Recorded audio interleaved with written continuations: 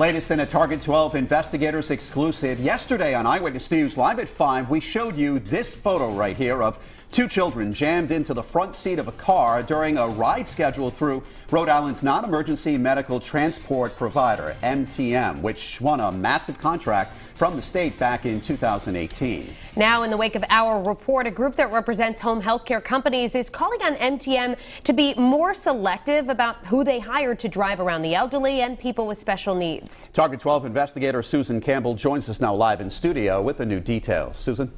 Megan Shannon, the head of the Rhode Island Partnership for Home Care, tells me the photo from our report proves changes need to be made about who is allowed to drive for MTM.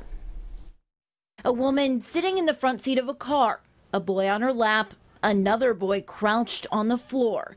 This happened during a ride scheduled by MTM, the state's non emergency medical transportation provider.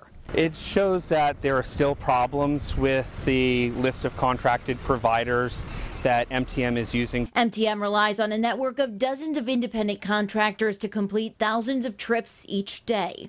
Nicholas Oliver, the head of the Rhode Island Partnership for Home Care, says those transportation companies are often one or two car operations, while some healthcare businesses with bigger fleets can't get contracts with MTM we have long-term service and support providers that have vehicles that can meet the needs of this population. The state and MTM need to move toward a group of transportation providers that are not single vehicle Uber and Lyft providers that have the app open the same time that they're running MTM. After our story about this photo aired, we also spoke with Representative Patricia Serpa. I hope that was a one off, but are there other problems? Absolutely. Serpa is the chair of the House Oversight Committee, which has been investigating MTM since its troubled rollout in January. Um, she says she's still receiving calls for help from constituents who are MTM users. We shouldn't have to intervene like that.